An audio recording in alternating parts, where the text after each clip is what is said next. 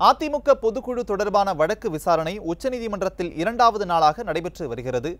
இன்றைய விசாரணையின் போது வாதங்களை கேட்டு வரும் நீதிபதிகள் இடைக்கால உத்தரவு பிறப்பிக்கலாம் என தெரிகிறது. இது பற்றிய கூடுதல் தகவல்களை தலைமை செய்தியாளர் ஜெயக்குமாரிடம் கேட்கலாம். வணக்கம் ஜெயக்குமார். இது குறித்த கூடுதல் விவரங்களை பதிவு செய்யுங்கள். வணக்கம் ராகவேந்திரன். அதிமுக பொதுக்குழு விவகாரம் தொடர்பாக இரண்டாவது நாளாக உச்சநீதிமன்றத்தில் விசாரணையானது நடைபெற்று வருகிறது. குறிப்பாக இந்த விவகாரத்தில் நீதியரசர்கள் தினேஷ் மகேஸ்வரி கிருஷிகேஷ் ராய் ஆகியோர் அடங்கிய அமர்வில் விசாரணை நடைபெற்று வருவது குறிப்பிடத்தக்கது. குறிப்பாக அதிமுக பொதுக்குழு தொடர்பாக தொடர்ந்து கால அவகாசம் கோரி இந்த வழக்கினை ஒத்தி வைப்பதற்கும் தள்ளி வைப்பதற்கும் வாய்ப்புகளை கேட்டு எதிர்த்தரப்பினர் கேட்டிருந்தனர். அதனுடைய அடிப்படையில் இன்றைக்கு இந்த வழக்கு எடுத்துக்கொள்ளப்படும் என்று அறிவிக்கப்பட்டு நேற்றைய தினம் முழுமையாக ஒரு விசாரணை நடத்தினார்கள். குறிப்பாக நீதியரசர்கள் இருவருமே இடையீட்டு மனுவில் இருக்கக்கூடிய பல்வேறு அம்சங்களை தாங்கள் உன்னிப்பாக கவனித்து வருவதாக நேற்றைய தினம் தெரிவித்திருந்தார்கள். குறிப்பாக இடையீட்டு விவகாரத்தில் அதிமுகவினுடைய இடைக்கால பொதுச் செயலாளர் எடப்பாடி கே பழனிசாமி அவர்களுடைய தரப்பிற்குத்தான் அந்த முழு உத்தரவுகளும் ஏற்கனவே நீதிபதிகள் தெரிவித்திருந்தார்கள். அதனை முழுமையாக பதிவு செய்வதாக நீதியரசர்கள் தினேஷ் மகேஸ்வரியும் கிருஷிகேஷ் ராயும் தெரிவித்திருந்தார்கள். இன்றைய தினம் நான் நேற்றைக்கு நான்கு ஐந்து மணி அளவிற்கு அந்த விவாதம் நடைபெற்றது. இன்றைக்கு விவாதம் எடுத்துக் கொள்ளப்படும் என்றும் சரியாக இரண்டு மணிக்கு அது வரும் என்றும் தெரிவிக்கப்பட்டிருந்தது. அதனுடைய அடிப்படையில் இரண்டு மணிக்கு விவாதம் தொடங்கி எதிர்த்தரப்பினர் தங்களுடைய வாதங்களை வைத்து வருகிறார்கள். குறிப்பாக அதிமுகவுடைய பொதுக்குழு கூட்டம் அதாவது ஜூன் மாதம் இருபத்தி மூன்றாம் தேதி நடைபெறும் என்று அறிவிக்கப்பட்ட நிலையில் பொதுக்குழு கூட்டத்திற்கு தடை விதிக்க கோரி சூரியமூர்த்தி தொடர்ந்த வழக்கு அதனை நிராகரிக்க கோரி அதிமுகவினுடைய இடைக்கால பொதுச்செயலர் எடப்பாடி கே பழனிசாமி அவர்கள் தொடர்ந்த வழக்கு தொடர்ச்சியாக பல்வேறு தருணங்களை சந்தித்து வருகிற இந்த வழக்கு. குறிப்பாக அதிமுகவினுடைய இடைக்கால பொதுச் செயலாளர் என்று அதிமுக இருக்கக்கூடிய செயற்குழு பொதுக்குழு ஒட்டுமொத்த உறுப்பினர்களும் பொதுக்குழுவில் கூடி எடுக்கப்பட்ட முடிவு. அதனுடைய தொடர்ச்சியாக இதனை எதிர்த்து எதிர்த்தரப்பு இருக்கக்கூடிய பன்னீர்செல்வம் அதே போன்று வைரமுத்து ஆகியோர் உச்சநீதிமன்றத்தை நாடிய நிலையில் இன்றைக்கு வழக்கானது விசாரணைக்கு எடுத்துக்கொள்ளப்பட்டு இரண்டாவது நாளாக விசாரணை நடைபெற்று வருகிறது. குறிப்பாக அதிமுகவுடைய இடைக்கால பொதுச் செயலாளர் என்கிற அந்த பதவி தாமாக எடுத்துக்கொள்ளவில்லை. குறிப்பாக அதிமுகவுடைய செயற்குழு பொதுக்குழு உறுப்பினர்களால் கூடி குறிப்பாக தொண்ணூற்றி ஒன்பது சதவீத உறுப்பினர்கள் இதற்கு ஆதரவு அளித்ததையும் அந்த பொதுக்குழு கூட்டத்தில் நிறைவேற்ற தீர்மானங்களையும் ஏற்கனவே அந்த நீதிமன்றத்தில் சமர்ப்பிக்கப்பட்டிருக்கிறது. குறிப்பாக தனி நீதிபதியினுடைய உத்தரவும் அதிமுகவுடைய இடைக்கால பொதுச் செயலாளரிடம்தான் இந்த கட்சியினுடைய அலுவலகத்தினுடைய சாவி ஒப்படைக்கப்பட வேண்டும் என்று ஏற்கனவே சென்னை உயர்நீதிமன்றம் தெரிவித்திருந்தது. குறிப்பாக அந்த அலுவலகத்துக்கு பொதுக்குழு கூட்டத்தினுடைய அந்த காலகட்ட நேரத்தில் தற்போது மனு எதிர் எதிர்மனுவாக தாக்கல் செய்திருக்கிற பன்னீர்செல்வம் குண்டர்களோடு சென்று அதிமுகவுடைய தலைமை அலுவலகத்தை தாக்கி சூறையாடியது. அங்கிருந்த பல்வேறு ஆவணங்கள் அதிமுகவுடைய மக்கள் மனங்களில் நீங்காத புகழோடு வாழ்ந்து கொண்டிருக்கக்கூடிய முதலமைச்சர் ஜெயலலிதாவுடைய ஆவணங்கள் பரிசு பொருட்கள் எல்லாம் அள்ளி சென்றது.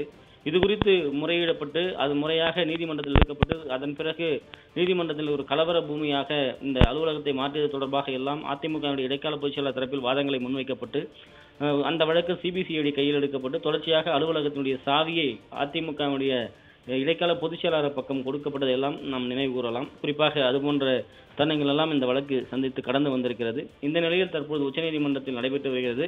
அதாவது அதிமுக இருக்கக்கூடிய ஒட்டுமொத்த தொண்டர்களுமே இடைப்பால இடைக்கால பொதுச் செயலர் எடப்பாடி கே பழனிசாமியினுடைய தரப்பில் இருக்கிற பொழுது இவர்கள் தரப்பில் இது போன்ற ஒரு இடைமனுவை தாக்கல் செய்து இந்த வாதமானது தற்போது நடைபெற்று வருகிறது. குறிப்பாக ஒரு இடைக்கால தீர்ப்பு என்பதை எதிர்பார்க்கலாம் என்று கூட நாம் பார்க்கலாம். குறிப்பாக ஏனென்றால் இடைக்கால தீர்ப்புகள் ஏற்கனவே என்னென்ன வழங்கப்பட்டிருக்கிறது? இருபத்தி மூன்றாம் தேதி அண்ணா நகர் நீதியரசர்கள் இருவர் அந்த கூடி அந்த கூட்டத்தில் எடுக்கப்பட்ட முடிவு பொதுக்குழு எடுக்கப்பட்ட அந்த விஷயங்கள் எல்லாம் குறிப்பாக பொதுக்குழு தீர்மானங்களை நிறைவேற்றிக் கொள்ளலாம்.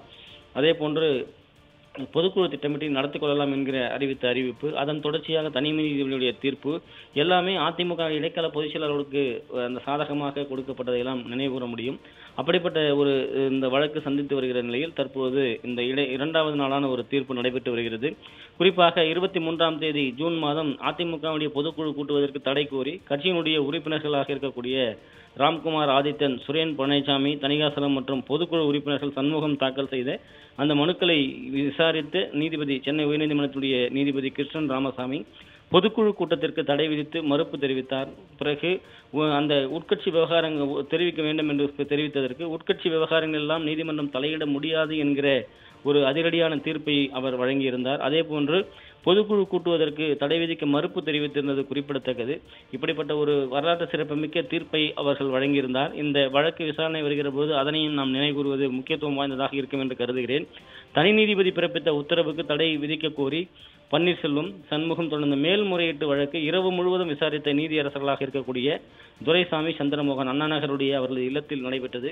இருபத்தி மூன்று தீர்மானங்களை நிறைவேற்றிக் கொள்ளலாம். புதிய தீர்மானங்களை எதுவும் அங்கு பேச தேவையில்லை என்பதோடு பொதுக்குழு கூட்டத்தை நடத்த வேண்டும் என்கிற ஒரு உத்தரவை பிறப்பித்தார்கள்.